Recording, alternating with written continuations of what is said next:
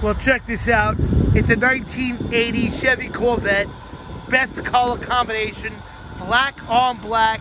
T-tops. What sets it apart? Well, a couple of things set this car apart. Very original car. All original motor. Loaded with options.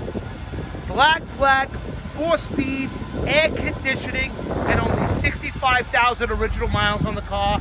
Interior is beautiful. The seats, the leather is plush. Great car to drive. And remember, it's a four-speed. This is the last of the L48 four-speeds, 1980. Just a really, really nice car. If you're a Corvette guy or just looking for a summer cruiser, this car is priced to sell. Check us out, HollywoodMotorsUSA.com. Very clean all around.